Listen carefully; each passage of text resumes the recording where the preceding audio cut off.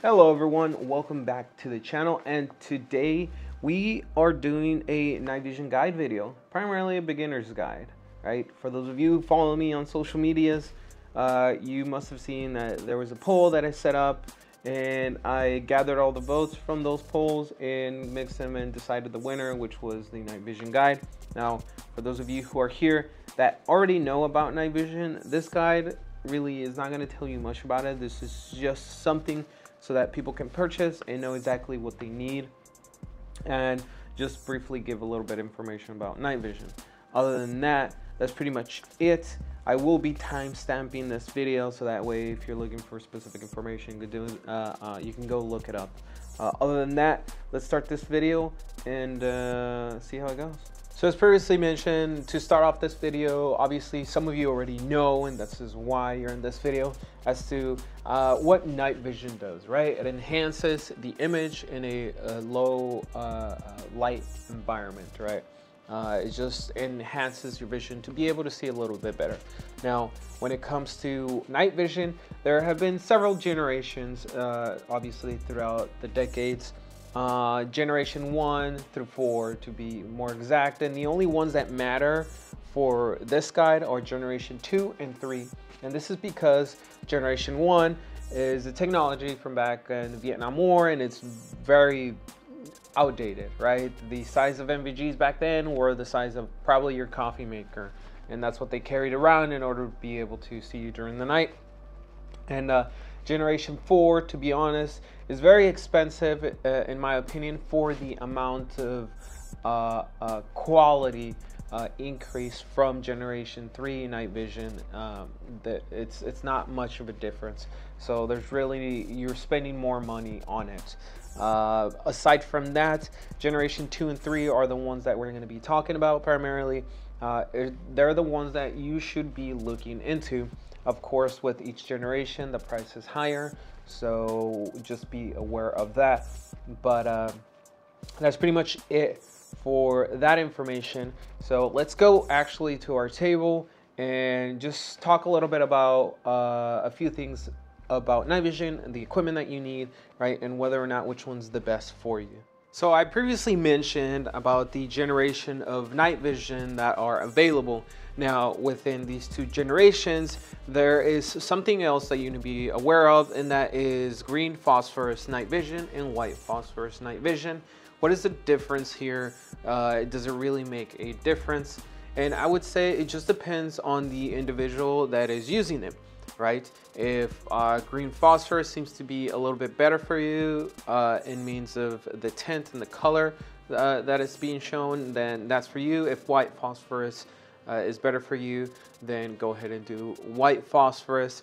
Uh, some of the things that I've heard that are different is that with white phosphorus, you can notice the shadows a little bit better, which seems to be pretty reasonable assumption to make, being that obviously white phosphorus is a white tint with obviously the shadows uh, being darker so it's going to show relatively a lot better than an actual green phosphorus which green is a little bit darker or the green showing through the uh, green phosphorus night vision so it means of that that's pretty much the um, only differences that you're going to face with green phosphorus and white phosphorus uh, one other thing though uh, white phosphorus is a generation 3 technology so mostly you'll see uh, it with uh, Generation 3 night vision primarily. So with that, that's pretty much it for the green and white phosphorus. There's not much to go into detail. It's a matter of what you think you feel would look best. Again, for me, white phosphorus is my go-to uh, for uh, actual um, uh, the, the, the actual tint on the night vision. Now, when it comes to the types of night vision monocules that you might find out in the market, there's several ones, right? There are actual uh, monos, which are single tube, right? There are binos, which are dual tubes uh, that you might usually see in movies and films. And there are also quads if you got the 43 grand to put out uh, for them which uh, I think the cheapest ones I've actually seen are about 25 from other companies that produce their own in market. But the ones that you usually see, like in those Call of Duty films and stuff like that, the quads, you're looking at at least 43k worth of it. So different models exist, right?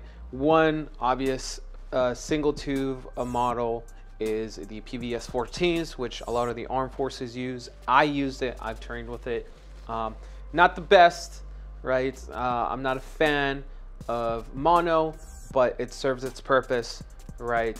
And uh, uh, that's pretty much the ones that you'll see. Generation 2, a lot of them you'll see in the uh, after or used market. You'll see Generation 2 night vision being sold, or you'll see newer generation uh, like Gener uh, Gen 3 PVS 14s being sold out in the market. For Bino, you will usually see two types, and it's actually the ones that I have personally. You'll either see the uh, PVS 31 Alphas, right? Uh, which are a different style of housing too. And then you'll see the 1431s, which are the ones that I have right here. 1431s, uh, which use a housing of PVS 14s, right? but dual tube, right? So it's why they're called PV um, uh, 1431s. And these are from US Night Vision. I actually uh, like what they produce and the products that they have, and they have pretty reasonable prices, right? For 1431s, it's actually pretty cheap, being that 31 alphas usually go for around 12 to 15 uh, K uh, per unit. So for the actual binos, that would be one. Uh, and then there are the quads, which are the uh, uh, NGVs 18s, I think they're called, or 18s they call it. Uh, obviously, like I said, those are 43K, but that's just information. If you got money to put down for such night vision, it, I mean, I would probably focus more on uh, training rather than actual uh, Gucci gear, right? There's no point on owning any of this if you're not willing to go out and train with it constantly. So uh, in my case, what I would recommend, right, if you're a new user for night vision is just go with the mono, go with the single tube PVS 14, right? Um, I would be a little bit iffy about purchasing used unless you know what you're looking for and looking at, right? What what issues, any blemishes, any blemishes in the tubes, anything like that, or in the lenses uh, or if you have a friend uh, which uh, can check them, then you can do that. Uh, or you can go to places like US Night Vision, uh, which are they're pretty much nerds. There are nerds in what they make. They make their own in-house, and it's probably why the prices are actually low. They have pretty good packages when it comes to uh, their um, PVS 14 models. So you could check that out. But other than that, that's pretty much it. Uh, it means the models, those are general models. There's several other types of night vision models for uh, ocular use. Uh, but those are the primary ones that you'll be looking at least here in the US market. So before we move on the equipment and everything that I have laid out in the table, uh, what is exactly the expectation and the feeling that you'll have while wearing night vision? Well, it's two simple words, right? depth perception and uh, field of view, right? Those are the two things that you'll be dealing with. Uh, field of view is very limited. With my binos, you have only a 40%, uh, 40 degree of field of view. So it's very limited. It's pretty much what's ever, what's ever in front of you plus a little bit more because again, you have two ocular tubes facing forward, right? It's not like our eyes, which have a more radial right a view of things that's why we have peripheral vision right because the way our eyeballs are made and how it takes in the light right so field of view is one of them depth perception right? How close you are how far away you can perceive objects is another one. It'll be pretty limited. Uh, i have had a few little mishaps where uh, as a beginner user i've been walking around and i hit something right? Uh, or you can't look at your feet, right? So again, that depth perception, right? When you see individuals like in movies and films running, like sprinting with night vision, yeah, uh, th that is no way something possible unless you're very lucky and you're very aware of what's going on. But nine times out of ten, you're probably gonna hit a wall because again, field of view, depth perception, very limited. While wearing night vision, especially in a deep dark room, which comes into play uh, uh, differently when it comes to tactics. But that's the feeling the expectation of how it feels to have night vision and wearing it, right? So let's go to the actual gear and equipment. So for the gear, what exactly do you need to initiate this? Once you've already acquired your uh, PVS 14s or night vision unit, it's pretty simple, pretty straightforward, right? There's different ways of going about it, right? There are head mount harnesses, right? Which are harnesses that go right over your head. You tighten them, you adjust them, right? And they have a shroud in the front, which you attach your rhino mount unit or your uh, mount unit for your night vision, right? There are also bump helmets, right? Which are a lot lighter in weight. And for the most part, some of them are mostly rated for uh, blunt force trauma mainly, right? Which is just hits, falls, dings, stuff like that. And they come with a front shroud, right? They're not ballistic, they cannot stop rounds. All its intended purpose is for blunt force trauma and to actually mount uh, your rhino mount onto it to be able to attach your night vision.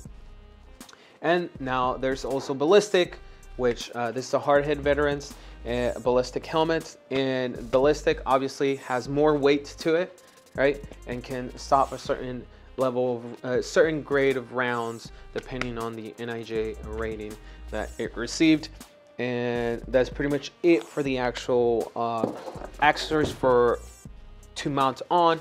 Now let's talk about the actual mounts themselves that mount onto the NVG unit. Right here, I do have a uh, clone from Wilcox, right? There are several types of mounts that you can use, but you need to make sure it's the proper one for your unit. PVS 14s come with a J-arm and an actual uh, mount, right? The J-arm is what pretty much allows it to mount onto the random mount. Just for your awareness, because I know there's kits that won't come with it or with a J-arm, right? So just make sure it comes with that. For the most part, I like to play it safe if the company I'm purchasing PVS or the PVS 14s from uh, comes with the kit already or they sell it on their website, I would just get it with it together. Uh, try not to try not to cheap it out, but also I understand if you're on a very tight budget, which from the start you probably shouldn't be buying NVGs if you're on a tight budget. But let's just say you're on the tight budget for right? How much you really want to spend for night vision. And uh, there are clones out there that you can purchase from uh, other reputable companies, but again, it could be safe, it could be not. I'm obviously taking a risk. Uh, while um, this is a clone from the Wilcox mount, uh, I'm not encouraging trying to go for cheap Chinese stuff, but again, you know, I already spent so much on night vision and other equipment that I have to limit certain level of options. Now I do take steps for this to make sure that obviously the mount is good. If it's not, it doesn't hold to what I've been doing, then obviously I just return it and hopefully just take the L and try to save up, save up more for the actual thing. So far this, this mount has worked perfectly fine. It hasn't failed on me and hasn't dropped from my actual helmet and mount and stuff like that. So it's pretty good. So that's one of the other things that eh, you should be aware of.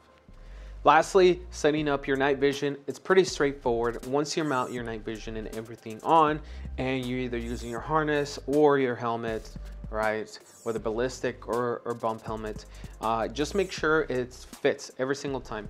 A lot of the times, even in like good, uh, high quality uh, night vision mounts and stuff, it might come unadjusted by movement, stuff like that. So you always want to make sure that the adjustment for your night vision fits everything. If you wear eye protection, same thing. You want to adjust it to where it sets onto your uh, eyes at a reasonable uh, distance to where there's not too much spacing but not too close to your face. Stuff like that.